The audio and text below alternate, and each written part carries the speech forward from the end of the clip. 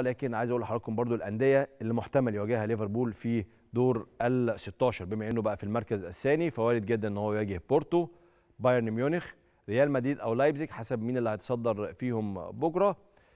طيب الريال ولايبزيج زي ما قلت لك وكمان في باريس سان جيرمان وبنفيكا اللي هيتصدر برضو مجموعته بكرة. ده المواجهات المحتملة لليفربول في دور ال 16 تعالوا نقولهم مرة أخرى. إحنا بنتكلم في ليفربول هيواجه المتصدر.